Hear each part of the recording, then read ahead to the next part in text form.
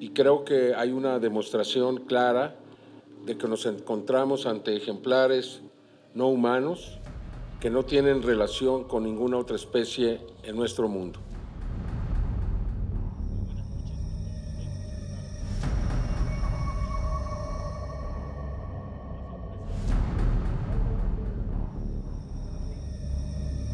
Nos quedamos con reflexiones, con inquietudes y con la ruta de seguir platicando sobre esto.